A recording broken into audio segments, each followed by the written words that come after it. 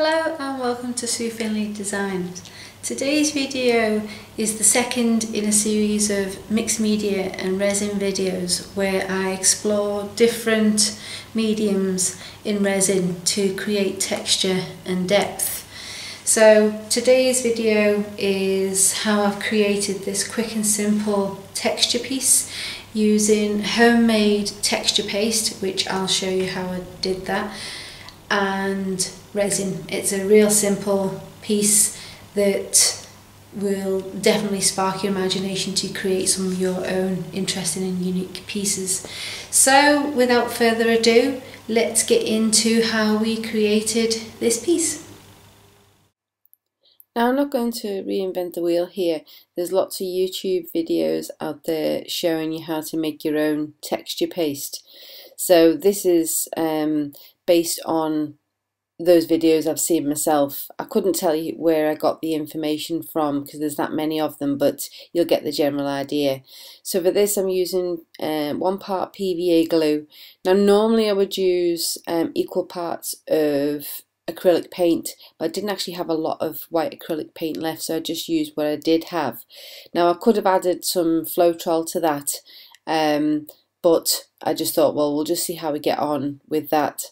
And basically what I'm doing is I'm just adding the talcum powder as I go and making sure that that's thoroughly mixed because I don't want to add too much and end up lumpy. So if you add it in stages, you can gauge how it's coming along. And also you can keep adding until you get at the thickness that you want. Now for this piece, I want the texture to be fairly thick so that it doesn't flatten and that it stands proud off the board. So I'll just keep adding the talcum powder till um, I'm happy with that. And what I do is I'll just hold it uh, up and allow it to drip in just to see how quickly the the paste flows. Now if you don't have talcum powder to hand at home, you can actually buy it um, from the shops and it's really inexpensive. However, you can also use other powders like in the past I've used um, tile, tile grout.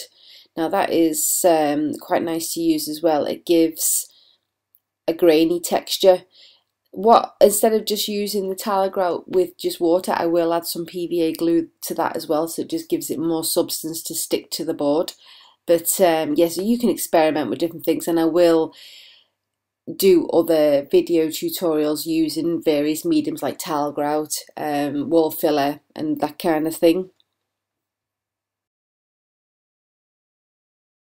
So once you're happy with the thickness of your texture paste we can now move into applying to the board.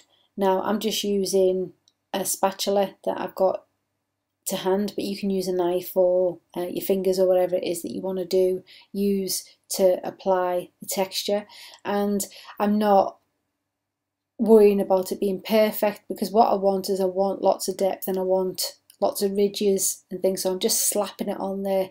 You can always go back later and tidy it up if you want but for this um, tutorial it's fine as it is so just stick it on there and away you go. Now you do have quite a, a while working time with this before it starts drying but once it does start drying it does actually dry fairly quickly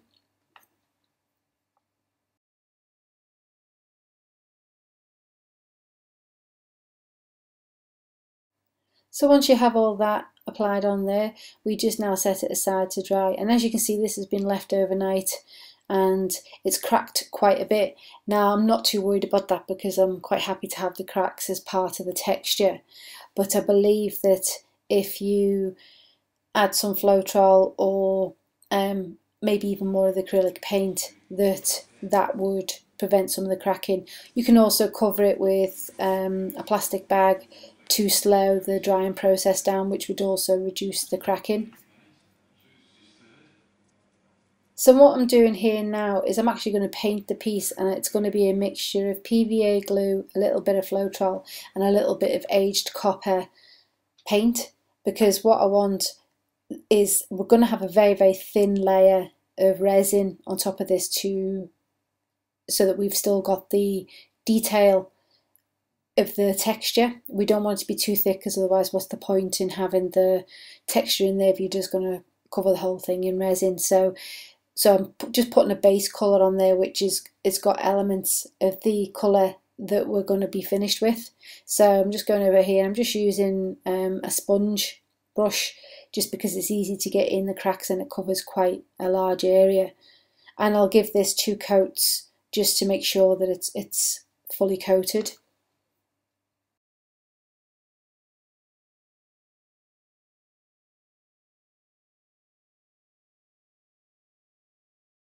Now you can't see in here, but this is actually quite sparkly. And because it's mixed with the PVA glue and the Floetrol, it's more like a wash. But that's fine because I still want this, the texture to shine through. I don't want it to be too um, covered in paint because this is going to be all part of the design.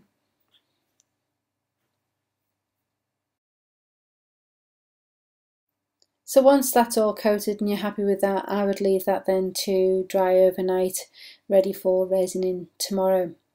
So as you can see, there's like a nice gold colour on this.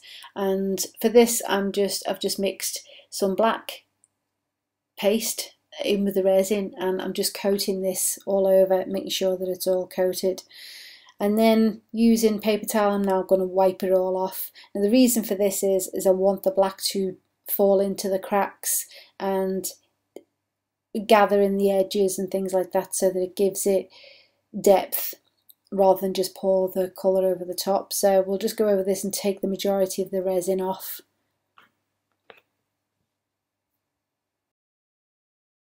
For the next layer I've just mixed some sparkle pigment in with the resin and we're just going to pour this over the top and again spread it all around and we're actually going to let this run off. So I'm going to pour this off into a mould just out the way and just to get the majority of it off because again I just want a thin layer on there so we can see the detail and the texture behind.